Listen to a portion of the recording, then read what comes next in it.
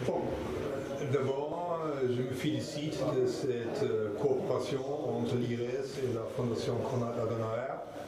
C'est encore plus un exemple d'une coopération très étroite entre le Maroc et l'Allemagne, qui témoigne aussi, par exemple, dans cette forum mondial d'immigration et développement, dans lequel euh, le Maroc, l'Allemagne, le ministère des euh,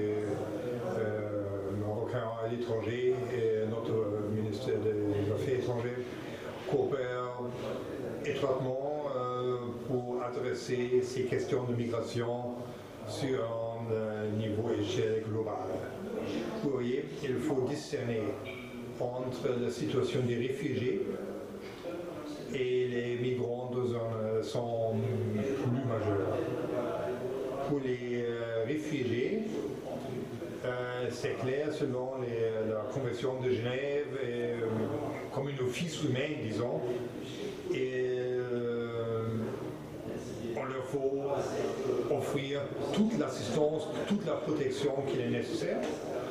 Pour les migrants, d'autre côté, il faut trouver une solution.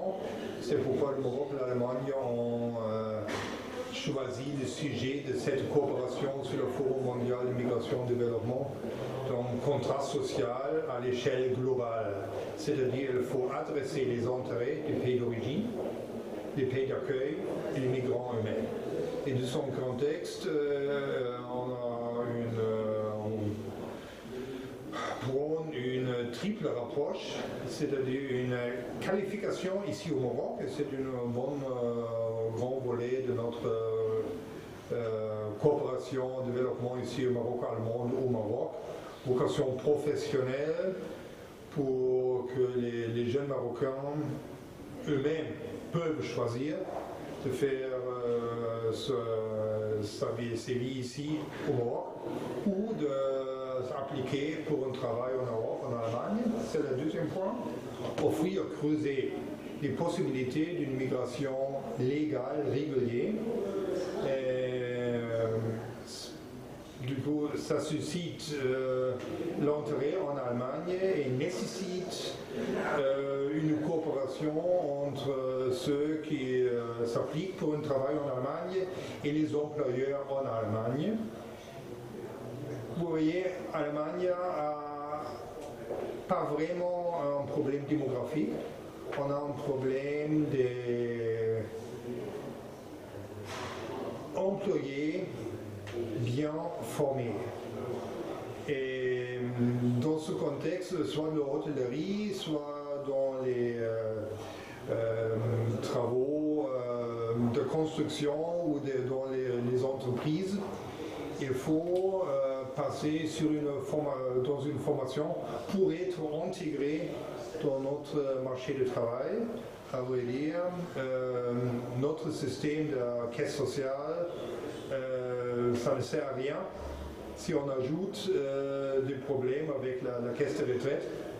Euh, un million de chômeurs parce qu'ils ne trouvent pas un emploi ici en Allemagne. C'est-à-dire, il faut, il faut créer ici des possibilités pour les jeunes Marocains, soit en Maroc, soit en Allemagne, c'est-à-dire qu'ils doivent passer une formation pour ceux qui restent en Allemagne et qui ont une perspective d'y rester il faut leur offrir toutes les chances euh, pour cette future en Allemagne. C'est-à-dire d'abord, le, majeur défi, l'enjeu, c'est la langue allemande.